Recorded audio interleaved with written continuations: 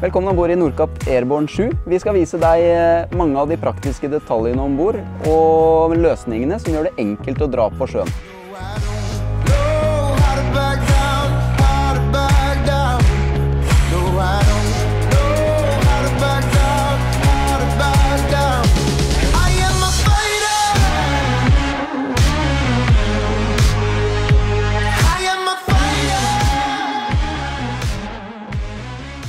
Det første du legger merke til i baupartiet på Airborne 7 er et solid, eh, godt bautrinn med et eh, stuerom til alt av tauverk du trenger i bauen. Det kan være praktisk når du skal gå til og fra brygga eller skal hoppe i land eh, når du har lagt til i naturhavn.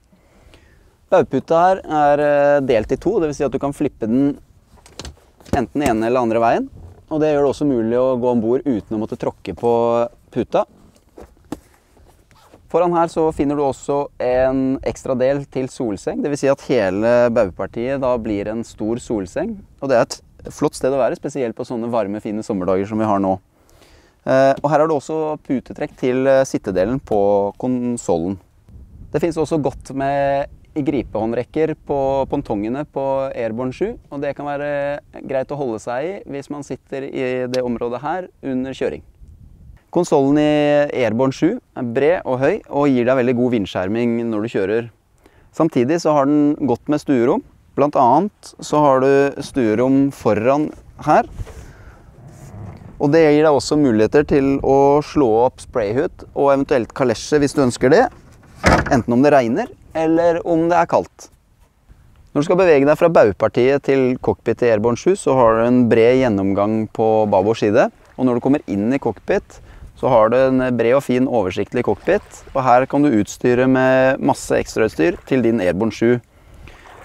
Garmin leverer plottere til eh, denne båten, enten som Garmin 923 eller 1223. I denne båten så er det en 1223 som står installert. Her finner du også motorinstrumentene som gir deg fart og omdreininger på motor, og Active Trim-panelet for Active Trim på din Mercury-motor. I tillegg så har du en uh, godt plassert uh, gass-gir-hendel og enkelt tilgjengelig instrumentpanel for å betjene funksjonene på din båt. Det er også godt med oppbevaringsplasser, enten for mobiltelefon eller andre små ting som du har med deg på tur, som f.eks. nøkkelknipper. Og her har du også uttak til uh, forskjellig 12 volt lading av mobiltelefon eller annet du har med deg. Båtens hovedstrømbrytere finner du enkelt plassert godt tilgjengelig under konsollen her. Sittebenken er utstyrt med komfortable puter. Du kan vippe opp sitteputene slik at du får en ståposisjon eller en sitteposisjon. Sitteputene skjuler også båtens havnekalesje. Det vil si at du ganske enkelt ved å åpne her får tilgang til havnekalesjen. Kan dra den ut og enkelt montere den ganske kjapt når du kommer i havn.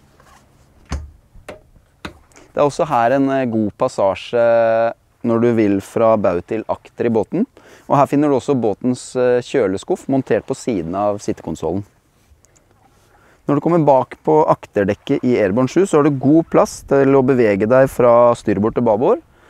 Og båtens eh, sitteputer bak her er konstruert med muligheten for å vippe opp selve sitteputa på både babord og styrbord side slik at du kan gå uten å måtte tråkke oppå puta fra badeplattform og inn i båten, eller motsatt vei. Og Det kan være praktisk når du f.eks. har vært og benytta badeplattformen for å bade.